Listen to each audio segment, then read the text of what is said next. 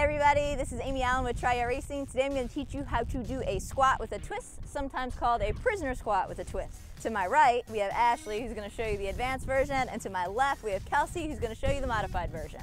With this, it's pretty simple. You want to make sure you do the perfect squat. You're going to have your hands behind your head, and as you come up, you're going to bring your knee to the opposite elbow. Keeping your back straight, your head up, and your knee to your elbow. Over and over and over. That's perfect. Now we're gonna do Kelsey, who's gonna show you the modified version.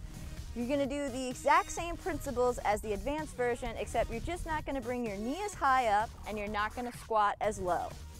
You're gonna work up to that advanced version. And there you go, that's your perfect squat with twist or prisoner squat with twist.